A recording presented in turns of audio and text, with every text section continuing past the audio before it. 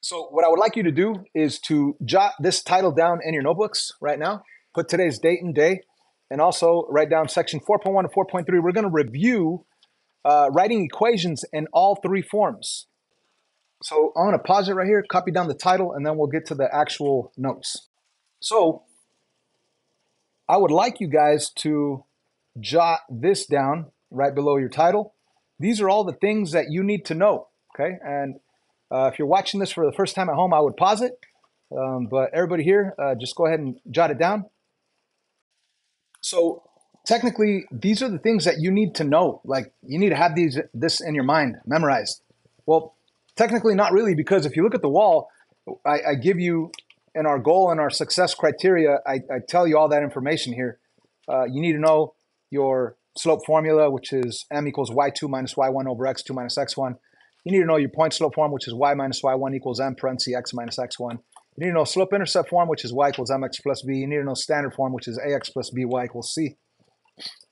So it's on the wall right there. So you should have this memorized, but it's on the wall. It's written on the board right there. Um, so these are the three different forms, point slope form, standard form, and slope intercept form. And those are not the particular order that we learned them in, but I just wrote them down this way because I don't know, just because. We also know uh, slope formula, which is y2 minus y1 over x2 minus x1. And once you know all of this stuff, it'll be really easy to apply it when they ask you to write equations. Um, let's begin with something that we're really comfortable with, slope intercept form, y equals mx plus b. Why do they call it slope intercept? Why do they call it slope intercept? Anybody? Because when it's in this form, form means organized. When it's organized like this, y equals mx plus b, you could clearly see the slope, which is the m, and the y-intercept, which is the b. So slope-intercept form, when it's organized like that, you could see the slope and the y-intercept. That's why it's called slope-intercept form. Why do you think they call this point slope form? Because when it's organized like this, y minus y1 equals m parentheses x minus x1, you could clearly see a point x1, y1, that's a point. And you could clearly see a slope. That's why they call it point slope form, point slope form. Okay. Now standard form is just uh, ax plus by equals c, where a, b, and c are just numbers, no fractions, no decimals. And uh, you have your x's and your y's on the left side and your number by itself on the right side of the equal sign. And this form is great when you're trying to find the x and the y intercepts. Anyway, um, once you have all of this memorized or you're comfortable with it at least, and you can look at it on the board and know what to do when they give you certain information, you'll be able to answer questions like this. So please copy these examples down right here in your notebooks. I'm going to pause it for a couple of seconds and please jot this down. Uh, write an equation given the following information. So you're going to write an equation, and they don't say which form. But they do tell you on the first situation, a line has a slope two thirds and crosses the y-axis at five. And on this other uh, situation, says a line passes through the point, negative two, three, and has a slope four. So please copy that down. I'm going to pause it real quick. Copy it down. So again, we want to write an equation. Now, this, these instructions don't say write an equation in slope-intercept form or in point slope form or in standard form. This is just any equation, right? So you get to pick what form is best for the given information. So number one, it says a line has a slope two thirds and crosses the y-axis at five. So what do they give you on number one? What information do they give you? They give you the slope, they give you the m value, which is two thirds, and they also tell you that it crosses the y-axis. What does that mean? They're giving you the b value, right? So they're giving you an m and a b. They're giving you a slope and a y-intercept. So which form do you think is going to be the best one to use if they give you a slope and a y-intercept. Slope intercept form, yeah, they give you a slope, they give you y-intercept, just plug in the slope there, the y-intercept there, and you're done. So we're going to use the slope intercept form equation. y equals mx plus b. And of course, all you do is plug in the m and plug in the b and you're done. So y equals what? 2 over 3x. And then plus 5, plus 5. There's your slope-intercept form equation. Done. They asked us to write an equation. We did write an equation. That's it. Now they didn't say write it in standard form. They didn't say write it in point slope form. So like let's say they did ask you to write the line that they give you the slope and they give you y-intercept and they said write it in standard form. You would still start with slope intercept because if they give you a slope and an intercept, you're going to start with slope intercept. And then once it's in slope intercept, then you could worry about changing it to standard. So like ax plus by equals c, no fractions. You would first have to multiply everything by 3. This times 3, that times 3 cancels out, that times 3. And then you could worry about moving the x over to the left side and having the number by itself on the right side if they asked for that. But they didn't. They just said write an equation. We wrote an equation. What form is it in? Slope intercept form, right? How about down here? It says write an equation given this information. A line passes through the point negative 2, 3 and has the slope 4.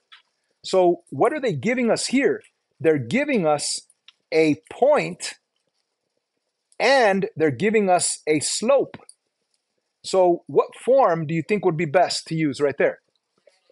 Point slope form. That's right. If they give you a point and they give you a slope, you're going to use point slope form. So let's go back to this problem right here.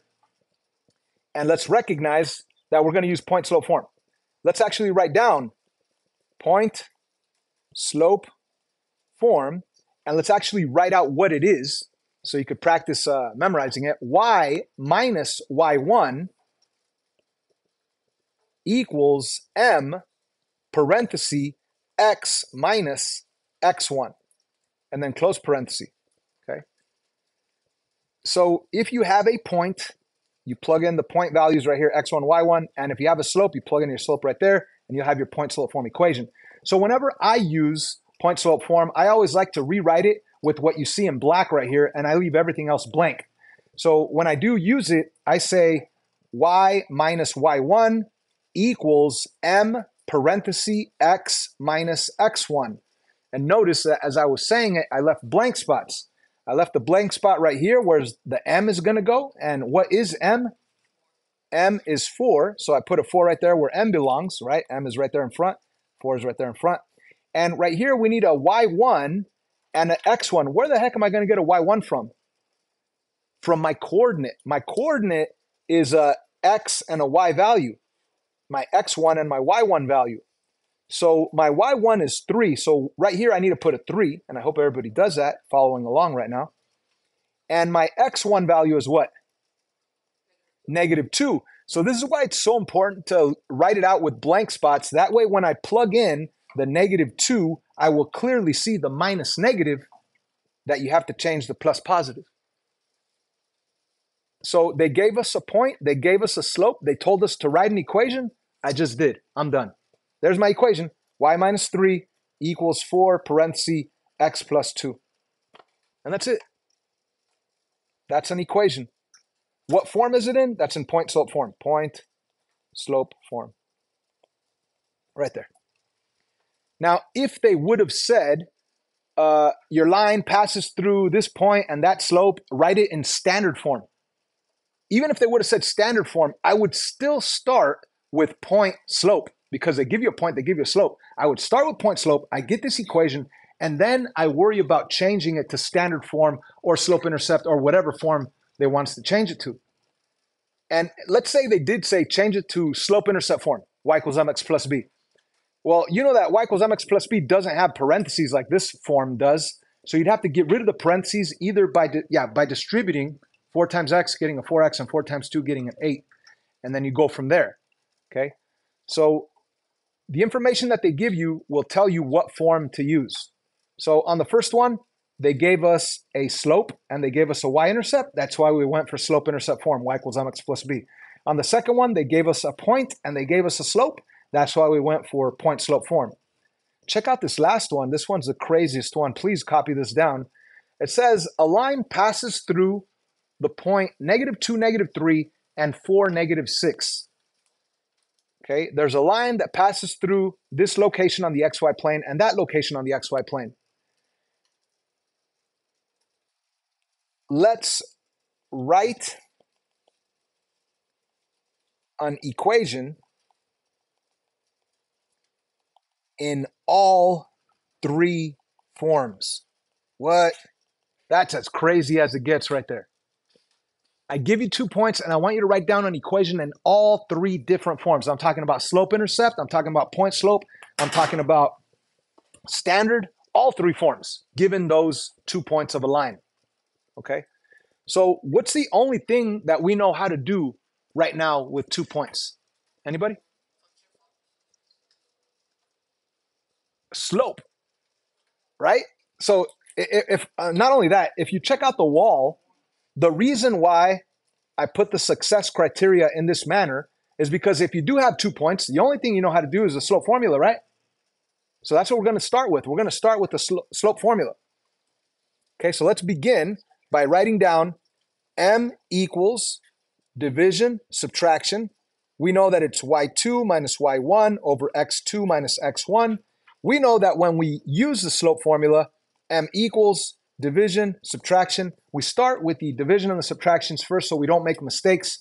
And we get our x and y values from the coordinate. This is your first point, x1, y1. This is your second point, x2, y2. So on the upper left, y2, what do we write? Negative 6. Upper right, what do I write for y1?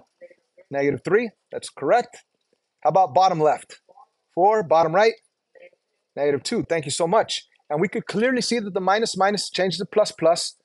So up on top, we have m equals uh, negative 6 plus 3. That is a negative 3. And on the bottom, we have 4 plus 2, which is a 6. And we could actually reduce this uh, slope. So the slope is what? Negative 1 half. Ladies and gentlemen, they gave us two points. And the only thing we could do with two points is find the slope. We did it. We got the slope. Okay, is that an equation? No. But now, what do I have? Before, I just had some points, x1, y1, x2, y2. But now I have a slope and I have some points. So think about that. I have a slope, I have a point. What form, what form am I going to use if I have a point and I have a slope? Point slope form, right? So let's start with point slope form right here. Let's actually write down point slope form.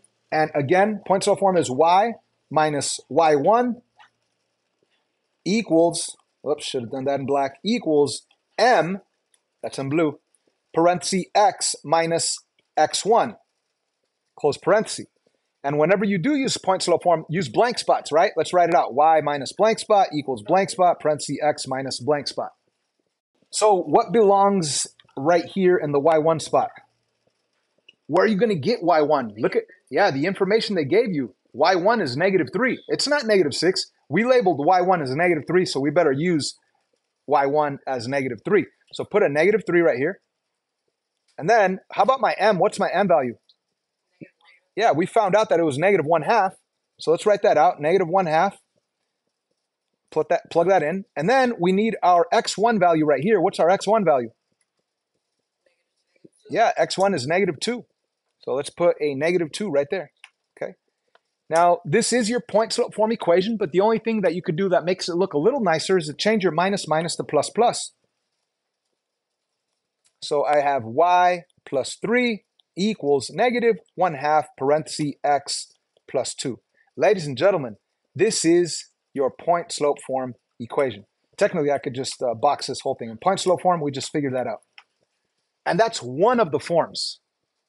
And they want all three forms, right? So we have point slope form so far, and we need to actually go back and change it to, uh, we have point slope form, we need to change it to standard and slope intercept.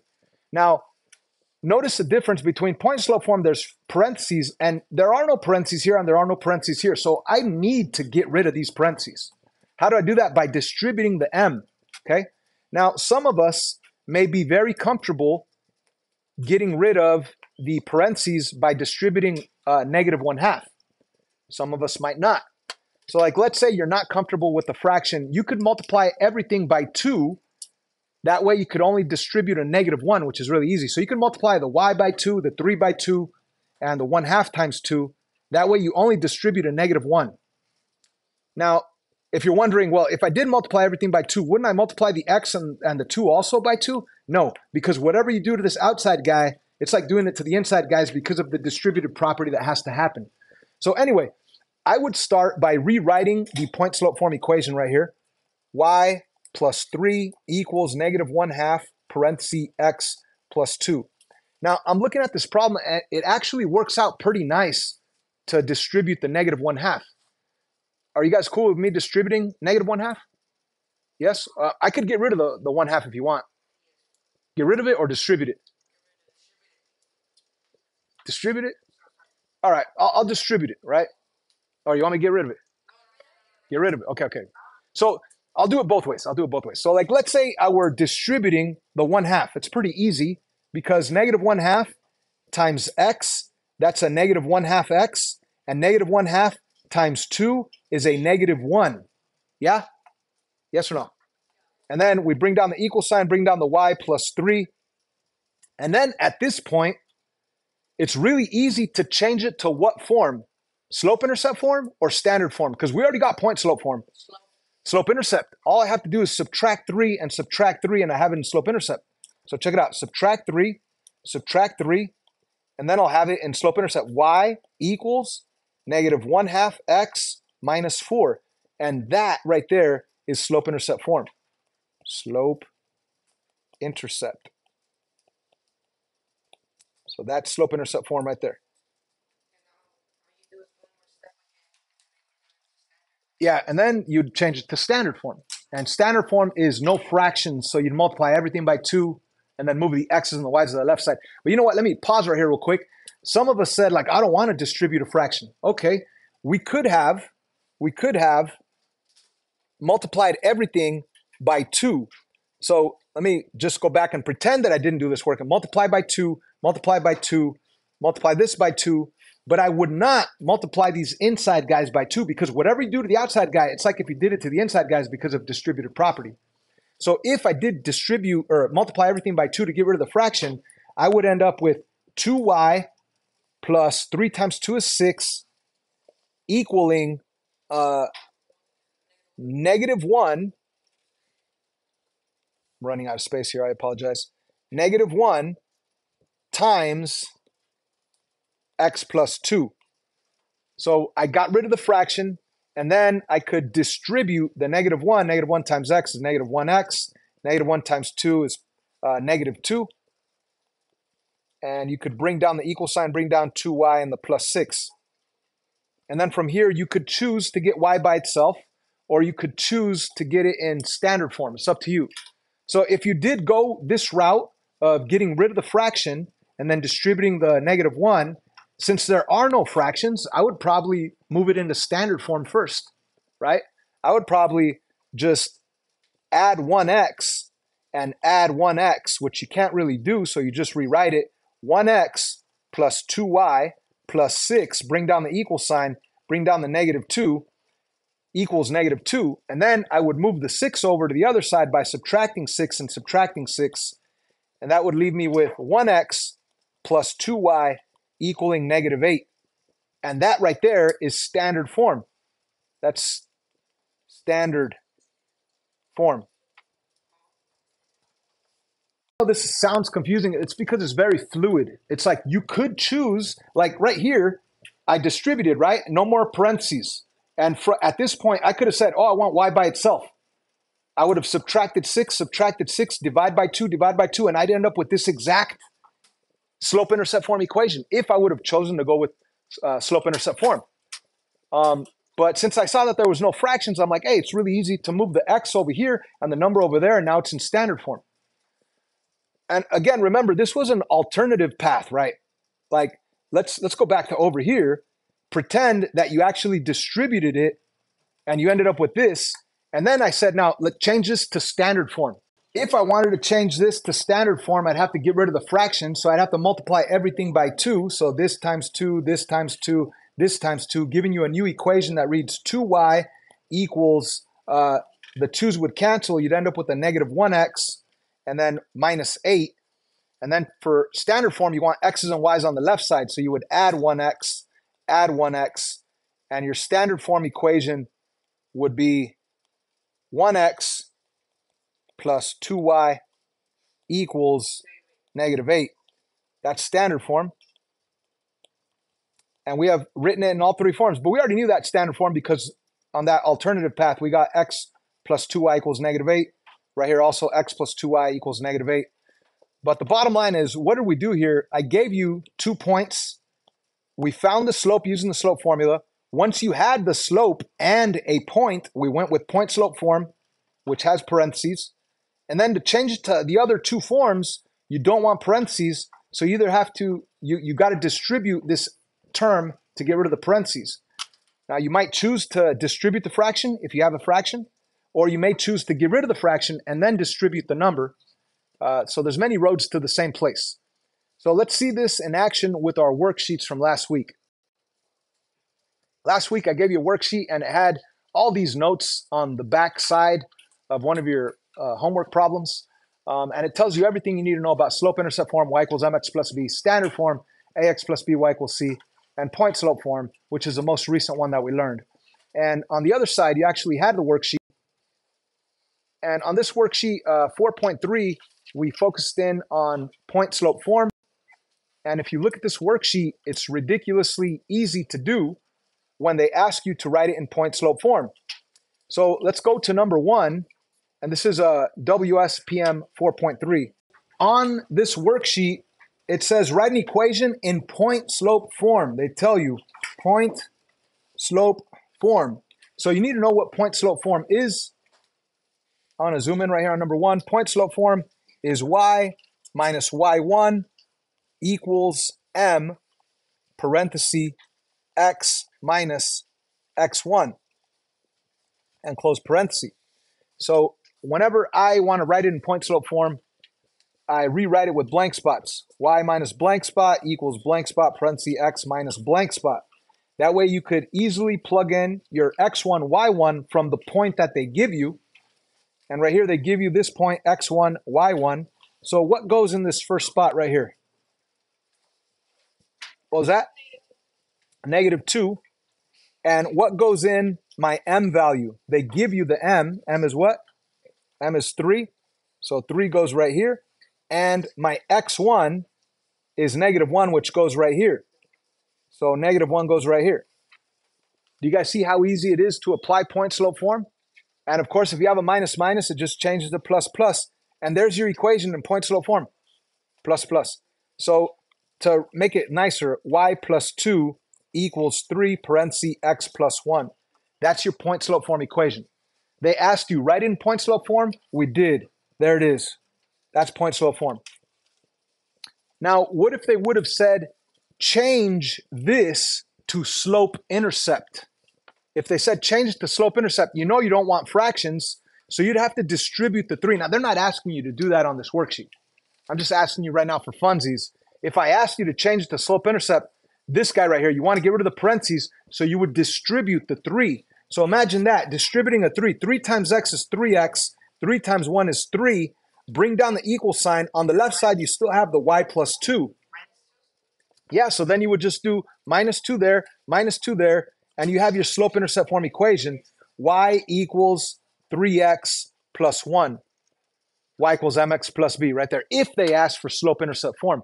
But then again, if they gave you the graph of the line, you wouldn't even mess with the algebra. You could just say, oh, the b value, the b value is 1, and the m value from here to here, it goes up one, two, three, and it goes over one. So the slope is three over one, or just three, right? So the y equals mx plus b equation would be y equals mx plus b, y equals 3x plus 1.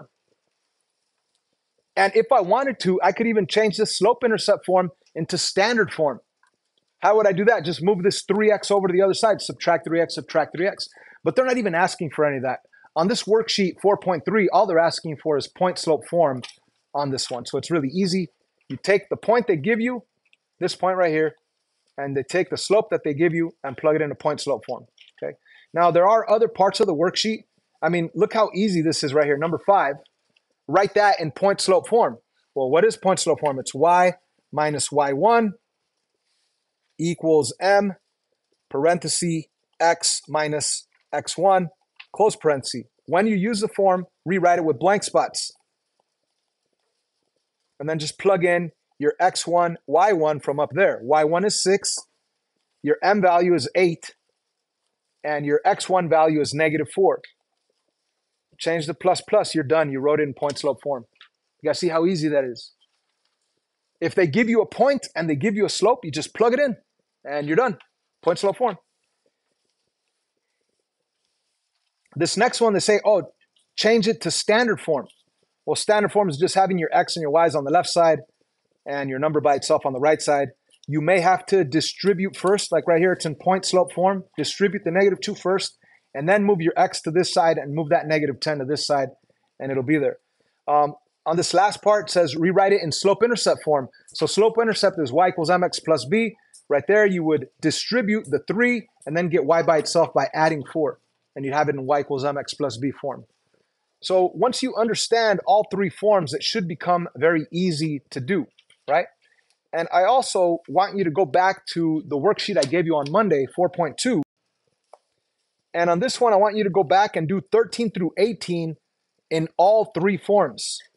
So on this worksheet, um, we already did this worksheet, but I would like you to go back and do 13 through 18 in all three forms. And if you look at 13, 14, 15, all those 13 through 18, I give you two points. And you got to find the slope on each of those and you start with the slope. And once you have the slope and you have obviously some points, you would go point slope form. And then from there, you would get rid of the parentheses by distributing and then either changing it to slope intercept or standard. But I want all three forms on each of these. So number 13, you would begin by using the slope formula, or m equals division subtraction. You got your x1, y1, your x2, y2. You're going to plug in your y2, which is negative 5, minus y1, which is 3, over x2, negative 3, over x1, which is positive 1. And when you do this math, you're going to get a negative 8 over a negative 4. A negative divided by a negative is a positive, so that would be a positive 2. So you know that your m value is 2. So, so far, with these two points, we found the slope. After that, you have a slope and you have points. So what form would you start with? Slope intercept, standard, or point slope? If you have points and a slope, what form would you start with? Point slope, right? That's why I wrote it in this order on our uh, success criteria on the board and on these notes right here. You start with point slope because if you have a point and a slope, you're going to begin with point slope. What is point slope? It's y minus y1 equals m parenthesis x minus x1. There it is, y minus y1 equals m parenthesis x minus x1. Notice I put blank spots because I'm actually plugging in my y1 value right here. My y1 value is 3. Uh, my m value, m value is 2 because we found out that m is 2. So I put a 2 right there in front of the parenthesis. And my x1 value is 1. So I put a 1 right there. And once it's in point slope form, I mean, well, first of all, that's one of the forms. So there's one answer point slope. So even though this worksheet didn't ask you to write it in all three forms, I'm asking you to go back and do 13 through 18 and find all three forms. So right here we have point slope form, which obviously is the only one of the three that has parentheses. So if I want to change to either one of these two, I'd have to get rid of the parentheses. How would I get rid of the parentheses? How do I get rid of the parentheses? Distributing the 2. So if I did distribute 2 times x, I would get 2x. If I do distribute 2 times negative 1, I would get a negative 2. Negative 2. And then I bring down the equal sign, bring down the y, and bring down the minus 3. Now, at this point, which form do you think would be easier to do? And it's pretty much just as easy. Would you like to go with the slope intercept where I get y by itself? Or standard form where I have x's and y's on the left side and the number by itself on the right side? Slope intercept looks great because all I need to do is get y by itself all I need to do is get rid of this minus 3. I get rid of the minus 3 by doing a plus 3 here and a plus 3 there. And now it's in slope intercept. y equals 2x plus 1. That's what we call slope intercept form right there. Slope intercept. So all we need now is standard form. Standard form is no fractions. Hey, we have no fractions. And having the x and the y on the left side of the equal sign, all we have to do is get this x to this side so how do I get rid of this 2x? You subtract 2x.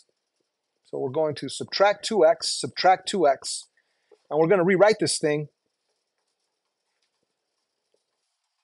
So my equation will be a negative 2x plus y equals 1. This is my standard form equation, or you could change all the signs uh, to make that first value positive, but this is good enough. This is standard form. Again, another acceptable standard form would have been changing all the signs, make it a positive 2x, a negative y, and a negative 1. But that's the same thing as this guy right here. So anyways, we changed it to all three forms. We started by doing the slope formula, right? Started with the slope formula. We found our slope using the slope formula. And then we went with point slope form because once you have a point and a slope, it's easy to do point slope form. And then you could change it to either one of these by distributing getting rid of those parentheses, and then either getting y by itself for slope intercept or getting the x's and the y's on the left side and the number by itself on the right side for standard form. This uh, lesson's been long enough. This video is long, way too long. I hope uh, we understand it better? Uh, I recommend you guys go back and finish this assignment doing 13 through 18 in all three forms. Also go back and watch those videos from last week to help you out.